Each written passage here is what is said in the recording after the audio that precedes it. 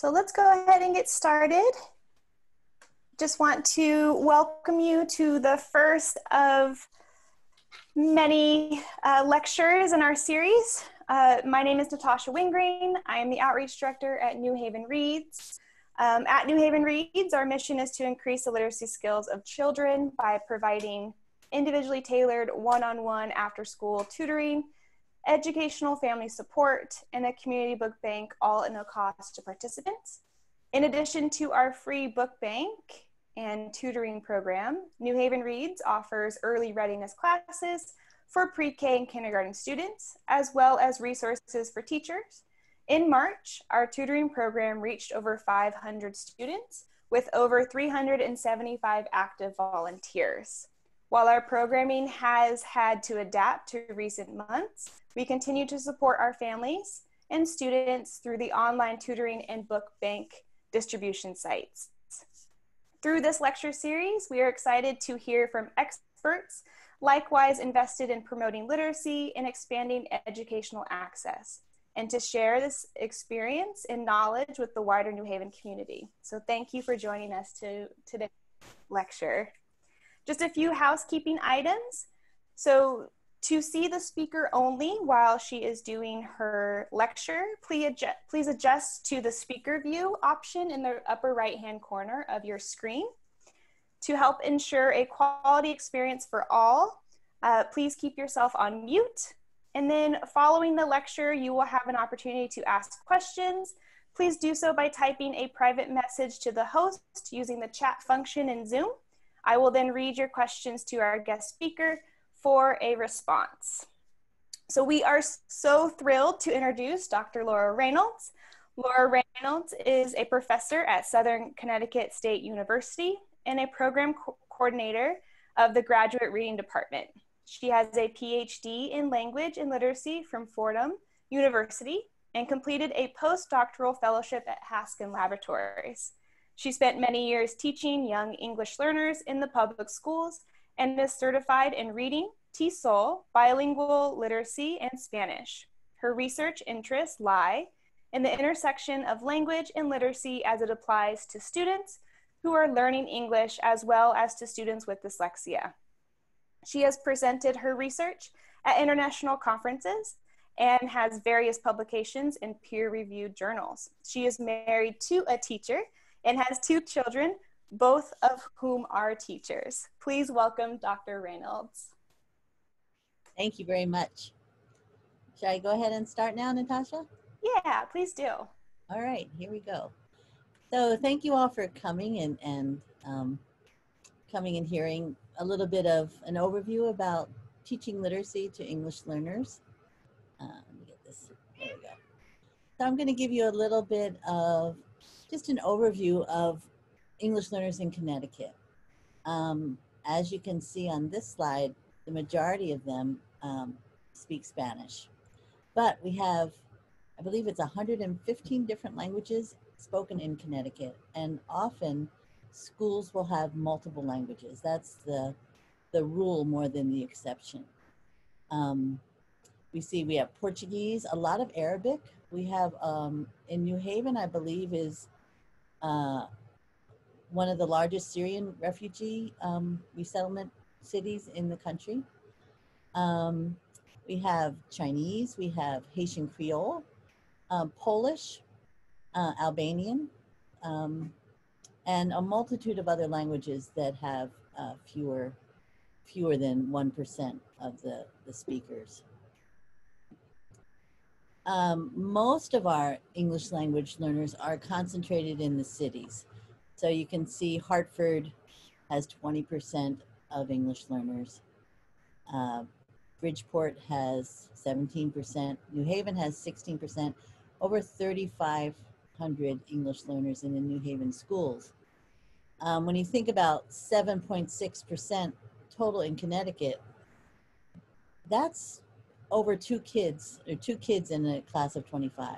So um, every teacher encounters English learners throughout Connecticut.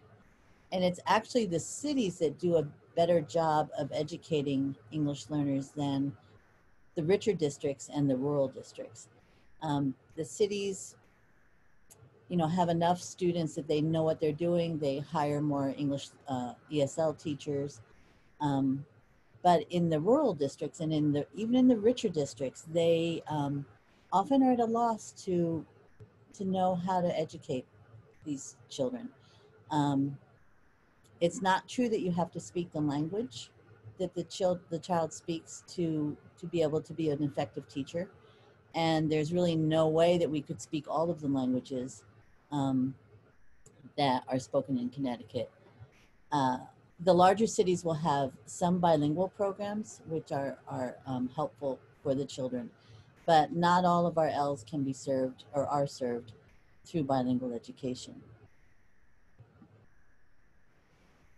So most of our L's also um, have poverty uh, going along with with the with their um, academic risks. Um, and it's really the poverty that is um, even more important than, than their English language status. So the National In Institute of Health actually put out a statement saying that the greatest risk for academic failure is not a learning disability nor second language learning. The greatest, the highest risk for reading failure is socioeconomic status. So often our English learners come from from um, because they've immigrated um, often they also have this poverty as, as a risk um, but not all of our english language learners of course um, come from a low socioeconomic um, household uh, yale has around yale there's quite a few um, english learners who are children of professors who have come from other countries uh, for example or in stanford where where uh, you might also see something similar. Those children have lots of resources. Um, so they really are not as at risk as other students. When we look for uh, who is eligible for free and reduced lunch, we see that the English learners, it's almost 70% are um, eligible for free lunch. And you know, you have to have a pretty low income rate to, to receive free lunch as opposed to non, non-English learners. So you can see that they, they um, almost 80% of English learners are eligible for free or reduced lunch. Um, so as we were talking, that socioeconomic status is a factor that can distinguish one student from another. We do have L's from middle class and wealthy backgrounds, but the vast majority um, are from low SES um, households. But it's important to know that all students, regardless of their socioeconomic status, have really valuable experiences that they can bring to the classroom and that we should really use them as a basis for their learning. Um, you know, I there was a, a, one time I was teaching summer school and I brought my daughter along. She was very young at the time, and I had a little girl from Mexico who uh, we were reading a story about a chicken, and my daughter was I think seven, and the girl, um, she was the girl was young. She was maybe seven or eight also, but she went through the entire process of how you take a live chicken and get get it from the live chicken state to the chicken on the table state. and I'm thinking, what amazing background knowledge. She knew, like, if I was stuck on an on an island with somebody, I'd want to be stuck with her. Um, but that, my Alexis, hold on. Um, but that kind of background knowledge, as valuable as it is, is not is not um, helpful in school, unfortunately. Um, it should be, um, and we should really take take a look at our the experiences our students have, all of our students have, to see how we can um, use that for learning. Uh, another example I have is I did a, um, I was working with second graders and we did a whole unit on plants. And because I was almost going to be a botany major, I, I loved plants. So we, they, most of their parents were gardeners and they had a real feel for how to grow plants and, and all of the things that were needed.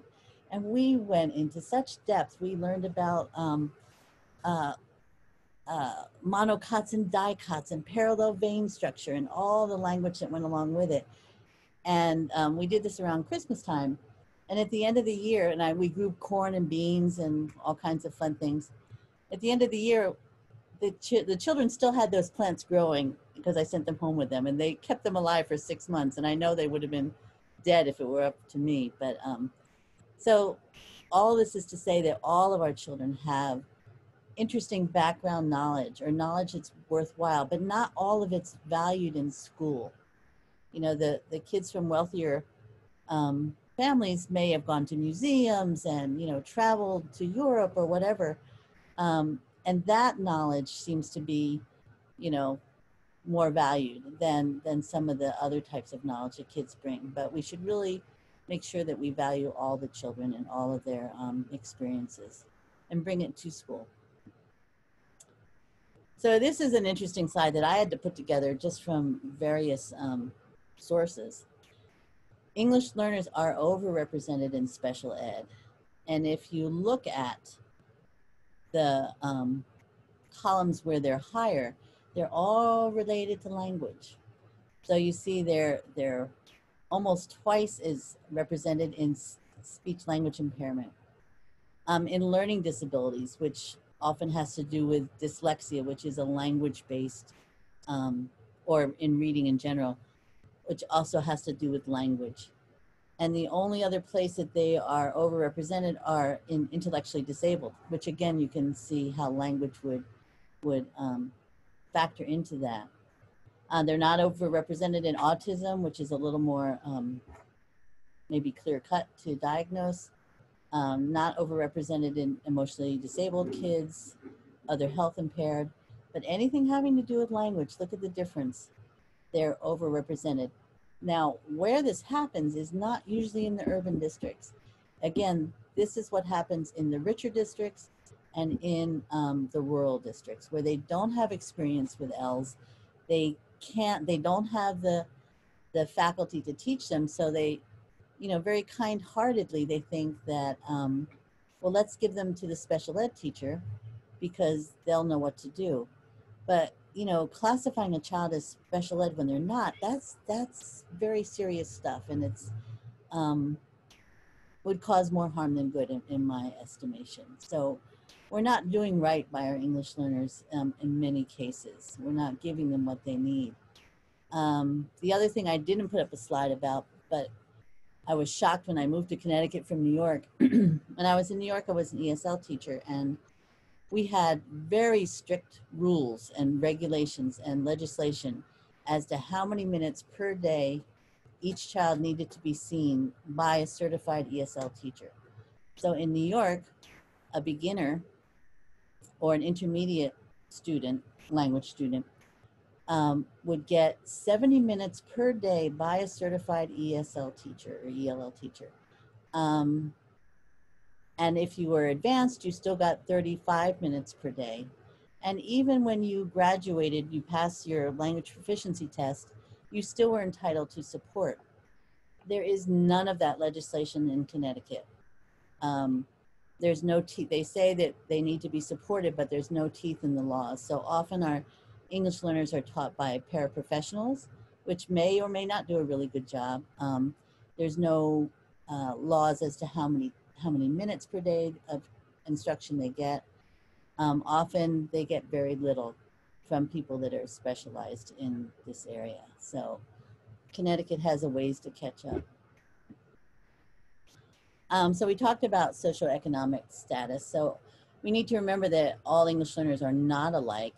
Um, Next, we're going to talk about how familiar they are with English and their school experiences. So um, English learners can be uh, classified as either an immigrant or if they were born in the United States. Um, and the overwhelming majority of our English learners were born here, um, born to immigrant parents. Um, so our, our, English learners are majority, they're citizens. Um, if they were born here, they, what often happens, well, what, what can happen uh, is that um, they can learn both languages at once from birth. And this might happen if the father speaks English and the mother speaks another language or vice versa. Um, those are called simultaneous bilinguals. But what often happens is that um, both parents, of course, would be um, immigrants and they speak their native language until they start going to school. So this, and then when they begin to go to school, they, they start learning English. So this becomes a problem for teachers because what happens is their, their native language, say if they were Spanish speakers, they come to school with a four or five year old level of Spanish speaking. Then they start learning English and they don't, if they're not in a bilingual program, they don't learn to read or their Spanish kind of, in Spanish, their Spanish kind of stops developing. And so now they're, they're left when they're seven or six or seven, their Spanish is, is still at that four-year-old level, but their English is not at, the English is still developing too. So they're left with two languages that are, are at a lower level of development. So like a four-year-old Spanish and a four-year-old English, but they're seven years old.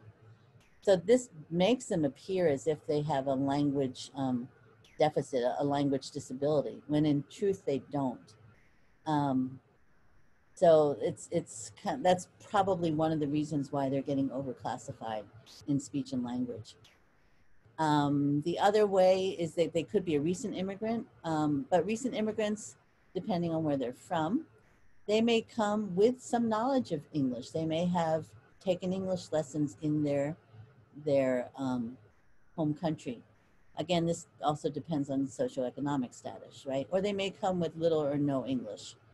Um, those of uh, immigrants with um, higher the higher SES, or might have come, um, might have left a country that was war torn, um, but yet they were professionals in their, their home country, they probably come with a good knowledge of English. I know I, I worked with a child of a, a woman from Colombia who was a judge in Colombia, but had to leave because of the drug wars back then. Very well educated woman working as a cleaning lady because she, um, that's all she could get and she had to run for her life. Uh, the past school experiences are also, again, a big factor in our, our English learners. Um, sometimes they come with very little or uh, formal education. Uh, we forget that in lots of areas of the world, um, they don't have public education, um, and certainly not through high school. I remember one of my um, student, my smartest students, he was so smart, learned to read like so quickly, just smart as a whip when I talked to the father, um, he had only been able to go to school up to second grade. And you think, you know, if the son was so smart, the father was probably just as smart as the son, but had no access to education. Um, what's even more common is this inconsistent or sporadic education in their, their native countries where sometimes they could go to school, sometimes they couldn't. Um, if you think of our, our immigrants from Syria, where um, you know the schools were bombed. You know that's certainly kids with interrupted education. Um, very rarely, this is what we'd love, but this is not um, doesn't happen very often. Uh, they, they regular attend one school with a consistent and appropriate curriculum. That's kind of the the exception rather than the rule. Um, so quickly, factor myth. Young children are better at learning a second language than adults. Kind of yes and no. All of these are both yes and no. Um, they, young children will eventually um, uh, outgrow people that were older when, when they learned the language. Young children, if you learn your language when you're young, you're not going to have an accent. You're not, um, your grammar is going to sound um, native-like um, but at the beginning, uh, older people learn language faster um, because they can they have more cognitive ability. They can compare one language to the other. They can learn rules. So at the beginning, the older people take off, but the young children catch up and then exceed them in the long run. Uh, math is easy for English learners because numbers are universal. Well, that's true, but um, so much of our math is language embedded, especially in schools. You know, they have to explain their answer, they have to read the word problems, all of that. Um, immersion is the best way to learn a second language. Not in itself, that, that children really need some support to learn that second language. Getting lots of input, hearing lots of English is certainly a, a good thing, but immersion without support is not, will not, um, is not the best way to learn a language. And then a child's first language interferes with his or her ability to learn a second language. Again, true and not true. So there's lots of resources that the child brings from their first language. They can transfer lots and lots of um, knowledge about reading from one language to the other. But there are a few things that might cause um, some temporary um, interference. Um, you know, particular sounds that don't exist in their first language, particular grammatical structures and things like that. But what the research says, generally speaking, is that English learners learning to read in English, just like English learners, just like English native English speakers learning to read in English, they benefit from good instruction, which is really explicit teaching of the components of literacy, such as phonemic awareness, phonics, vocabulary comprehension, and writing. So in many respects, what works for learners in general will work for ELLs. So you shouldn't, you should feel um, as tutors that that you're you're capable of of teaching English learners, um, because the basics work for for everybody. Um, so oral language development is is a uh, a big factor in reading development. Um, if you don't have a good oral language, you your your reading is going to be compromised. Um, remember that receptive language, the understanding, is generally better than expressive language. So they can always understand more than they can speak. Um, but we'll see some ways that this oral language development really uh, influences reading. Um, so we know that English learners um, they may have good conversational skills. They may not have an accent. They may uh, sound um, perfectly fine when you're talking to them face to face, but they still may not have the language that's needed for school and school achievement. And it's this uh, lack of academic language that causes them to um, have trouble with academic achievement. So I think I have, oh, almost, I'm gonna have a movie in a minute. So we need to understand the difference between conversational English and academic English. Um, that social language kids can pick up without any instruction at all. That you just put them with other kids. In two years, they'll sound just like all the other kids. They can get along with everybody. They, if they're young enough, they won't have an accent. Um, that for the early years of uh, schooling, it's probably enough. But what happens as they get to the older grades is that that language will not carry them through um, trying to learn uh, the academic content in the upper elementary school and beyond. So um, they need more than just that, what they call playground English. They need this academic English to read academic texts. Um, and academic English has a lot more complex vocabulary. It has more complex grammatical structures. Um, and this is the piece that, that really, unless attention is given to developing this academic English, which really all children need, um, but English learners especially, this is what's going to cause them to have difficulties in the older grades. So I don't know if you've heard of the fourth grade slump. Um, this happens to a lot of our kids, and they really feel it's due to vocabulary. And again, this academic English piece. Um, so some of the words that are, are part of academic English, some of them are the ones you would think of, like the content related terms, like absorb, photosynthesis, chlorophyll, all those words that you would learn in a science class. But there's also other groups of words that we sometimes forget about that um, cause trouble. Words that have to do with the directions of the, the task, like compare, contrast, analyze, discuss. All of this is vocabulary that needs to be taught. and then some of the ones that we really forget about are these words that are needed to put sentences together, like however, since, therefore, nevertheless. If you don't know that, that one word, nevertheless, you're reading along, you come to a word I don't know, and then you nevertheless, and then you keep reading. But the whole the whole point has changed. The whole uh, direction has reversed, right, of the the article. So these words are also really important to pay attention to as you're reading. They need specific instruction. So that's really important to remember. Uh, so I have a nice little video just to see, so you can see the difference between this, this um, playground English, it's also called BICS, um, or, and the academic English.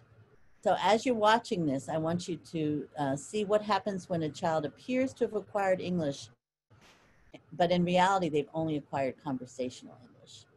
So, um, and then watch her eyes and her hands during this video. This is, this is a really, really powerful one for me anyway. Where are you from? Honduras, where are you from? I'm from California. How long have you lived here? Two years. Yeah. And you? Um, I have lived here for four years, almost four years. Yeah. You like it here? Yes. Yeah. What do you like about it? Uh, people are nice and I have a lot of friends here. Um, I especially like the food in here. Oh yeah. What kind of food? Uh, hamburgers and pizza. Oh, pizza. I like pizza too. What kind of food do you eat in Honduras?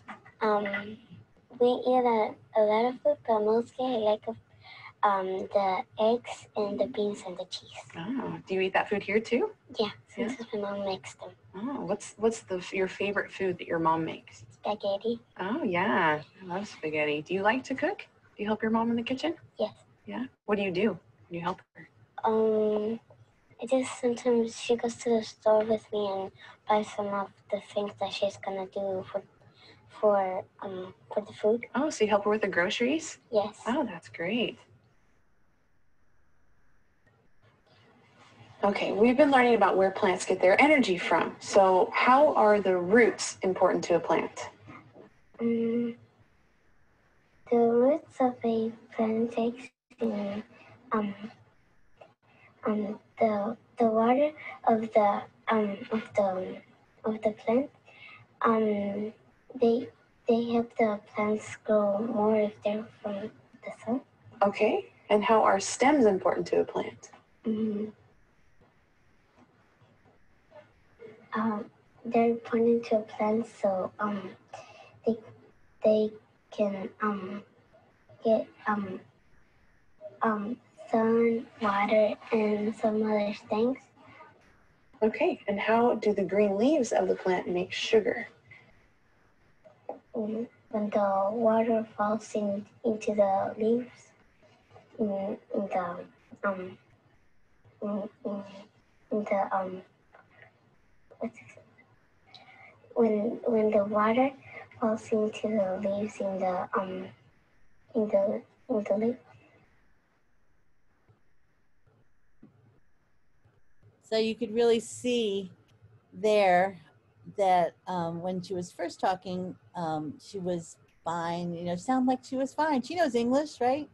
Um, a little bit, a little trouble when she had to use that word grocery. When she said, "How do you help your mom in the kitchen?" and she was like, uh, "You saw the hands start to go and look, the eyes looking up."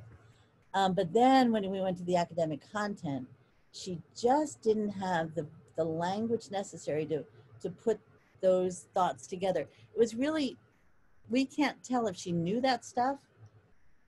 She knew the content and just didn't have the language to to express it, or she didn't know the content. Um, I kind of think she knew it because she was like pointing to the roots, but didn't have the the um, the word roots. Um, she didn't have the word. How does the stem help the plant?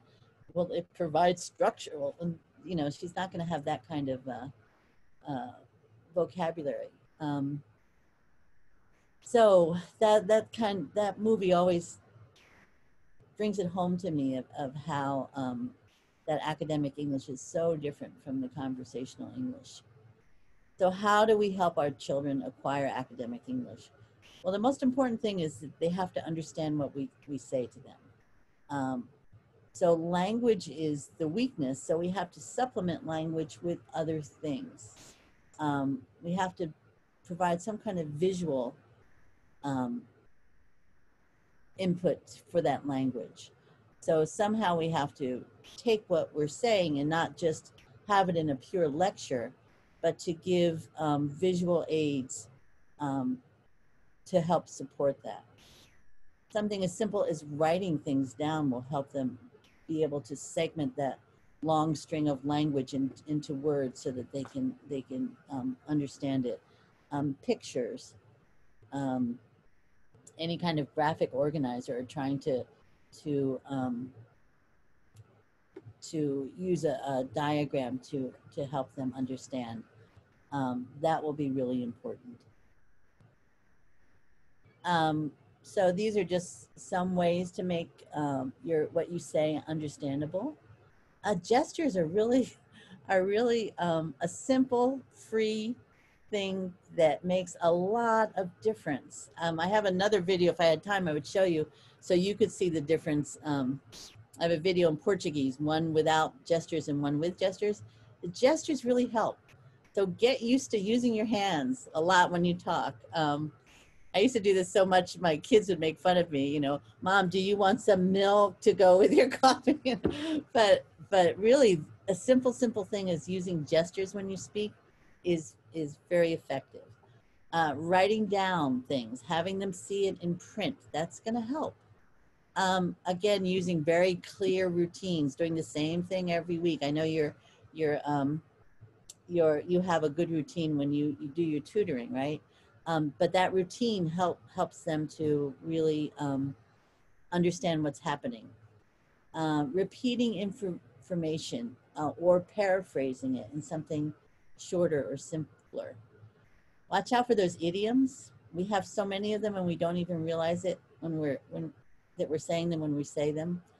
Um, just think of the word, uh, and sometimes it's the small words that get, get people into the most trouble um, think of the word run, right? You can run over something. You can run um, run into something. You can run uh, run on. You can use a run on sentence. You, there's there's so many of words with run um, that that can be quite confusing. And because it's our native language, we don't even realize it when we're saying it. Um, when you present new information, connect it to something that they already know. This is all just good teaching, right? Announcing your lesson objectives each day before you teach. Presenting information in a variety of ways, especially um, not just pure lecture, right? Have it um, do videos, do all that kind of thing. And then always giving a summary um, and paying attention to language. If you take have one takeaway, is to pay attention to language when you teach. Um, here's some more uh, supports for comprehensible input. Basically just speaking slow, a little more, a little slower. I didn't, I never spoke that slowly when I, I, I taught my English learners, but a, a little slower and clearer, you know, not louder. They're, they can hear, do you understand me? Yeah, you don't have to do that. I've seen people do that. Um, but monitor your vocabulary a little bit. Just pay attention to the words you're using. Um, and use lots of other objects, pictures, diagrams, anything that's not just straight blah, blah, blah language, right? And keep it kind of uh, simple. Um, so I know I'm running over time, but I just want to do a quick little uh, finish of this.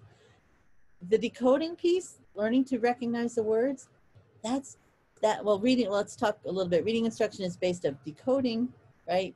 Saying those words. And then the vocabulary and the background knowledge. That's the other piece of it. Um, believe it or not, the decoding is not usually the major source of difficulty for English learners. If they get good instruction, they can learn it just like monolinguals. They can learn at the same rate. Um, this is all with good instruction though. Um, systematic instruction, and decoding. If they get that good instruction, they can learn to decode. That's not the problem, unless they have another reading difficulty like dyslexia. The problem is in the vocabulary, the academic language, and that general knowledge about the world that helps you understand what you read. Um, these things are so important and they make up comprehension. Um, so good instruction for English learners always includes attention to language, always provides comprehensible input. Just make sure that your students are understanding what you're saying. Check on it. Um, includes a lot of contextual and visual support, something other than talk, talk, talk, right? Builds vocabulary and checks for background knowledge, but also builds background knowledge. Um, and what they know about comprehension is the more you know about a, a subject, the easier it is to comprehend it, what, what you read about a subject. Um, if I read a, a pharmacy uh, article about some drug development, I wouldn't understand a single thing that they said, even though I could read all the words, because I don't have that background knowledge. And it's the same for our children. Some children come with tons of background knowledge that that um, is valued by school, as we said before. They very rarely read how to how to take a chicken from chicken to stew, right? They don't read about that. If they did, they would be the ones that would know the most and would have the best comprehension. So this has just been a real general overview. Um, I love working with English learners. I love working with their families. They're they're a lot of fun to work with. And so I want to encourage you to feel competent and um, not feel nervous about having to work with English learners because you, you can do a good job if you just kind of pay attention to some of these, um, these little things. So, any questions? Great, thank you so much. Um, I think they're coming in now. So let's see. It says, I have a student I tutor virtually, not through New Haven Reads. She is an American born child whose parents speak Spanish. She has a great deal of difficulty with small words like of, from, her. I think she may have a learning disability. Any suggestions? So we're talking about words that are irregular, that don't follow the phonics rules. Is that what she's saying? Because of, from, and her well, her does, but of and from are irregular words. Mhm. Um, Any advice on irregular words? um, yeah, if you if you they need to be explicitly taught and they need a lot of practice. And sometimes the little words are the hardest words for them to use because they have so many multiple meanings. Um, uh, for example, you can translate of to Spanish, right? Mhm. um, day, but it, it's used in in a in a in a lot of in a whole different way. So my advice would be just to to keep practicing, um, you know, even flashcards, those kinds of things, so that they can read them, and then give them sentences that um, that are meaningful and talk about the what the sentences mean, because Hmm. you need to have that meaning connection with the the actual word recognition piece. Um, but you know, English learners do have learning disabilities at the same rate as monolingual kids. So um, one of the issue, one of the ways you can tell if a kid has um, a learning disability is if you're teaching something and you're teaching it and you're teaching it and you're teaching it, and they learn it one day and forget it the next day, and they learn it one day and they forget it the next day. Um, so yeah, I, I couldn't give much advice other than that, just without seeing the child. Okay. Um, next question is Should we be teaching them idioms too? Won't they need them? Yes, yes. Um, so when we teach vocabulary, there's, you know, as a college educated adult or even just a just any any adult, you know about 50,000 words. So it's when we teach vocabulary, one of the biggest things we have to think about is what vocabulary to teach because there's so many of them to teach. Um, so yes, you need to teach idioms if they're important to understanding the academic text, right? So when I think about um, teaching English learners, it's always in context of school academics. Um, so is this idiom important for understanding that that content of the text? Um, and if it is, I'm going to teach it. But there's so many, you know, you might come across so many words that you can't teach them all. So you really have to get kind of um, judicial about which ones you're going to spend your time on. Mm, hmm All right, so last question we have is Can you talk about a parent who only speaks a different language continuing to read to their child in that language? Oh, is that still beneficial to the child learning to read English? absolutely. Um, you want that child to develop their first language as much as possible because that's going to make it easier for them to learn English. And that seems like a contradiction, but I'll give you an example about so it becomes a little clearer. Um, I speak Spanish, but mm, yeah, I probably speak about a four-year-old or five-year-old type Spanish. Um, so if I were if I were living in a Spanish country, um, I would, uh, and I would want to take my, and someone told me, don't speak your la- native language to your child, or I haven't, and my child is not able to speak the native language anymore, which happens. If I was to take my daughter for to shop for a prom dress, for example, I would say, let's buy a dress. I could say in Spanish, um, a long dress, a pretty dress, a blue dress, right? Mhm. but I couldn't say, you know, let's buy a dress with a sweetheart neckline and, you know, and a sash and, you know, do you want lace on that? Um, I, I wouldn't have that, um, those concepts developed in my native language. Um, so when you, when you speak in the native language to your child, you're developing concepts so that all the English teacher has to do is say, oh, lace means this. This is how you say, it. you know, one, I don't have to talk about what is lace, you know. Um, another way to think about it is try to describe what a fox is, um, how a fox differs from a dog, right? Mm. So you could say a fox has pointy ears. Well, so do some dogs. A fox lives outside. Well, so do some dogs. You know, I want to. How are you telling me what a how a fox is different than a dog? A fox has um, a pointed nose. Well, so do some dogs. But if I if I know what a fox is, if I see the fox and say this is zorro, this is fox, and this is a dog, all I have to do is translate zorro and fox. I don't have to spend an hour explaining what a fox is and how it differs from a dog. So when they're developing their native language, um, plus the fact that you want them to be able to talk to their grandparents, right? You want them to be able to communicate. I mean, not even talking about the emotional piece of it, which is so important, but just for the from the academic point of view, it makes the English teacher's job a lot easier because it's so easy just to learn the translation of a word um, if they already know what that concept is in their native language. hmm hmm Great. Well, thank you guys. Um, and thank you, Dr. Raynolds, for your time. Really appreciate it. Um, thank you, everybody, for participating today in our first of seven uh, lectures this summer. We will be putting this lecture up on our website and sending a video copy to all registered guests. Uh, please join us next Saturday, July 25th at 4 p.m. Eastern Time for our next lecturer, Dr. Carlotta Penn and she'll be discussing multicultural perspectives on language and literacy. So again, thank you so much, Dr. Raynolds. Uh, really appreciate it. I enjoyed being being with you all today. Great, thank you. Thank you, everybody. Enjoy your Saturday. See you Bye-bye. next week.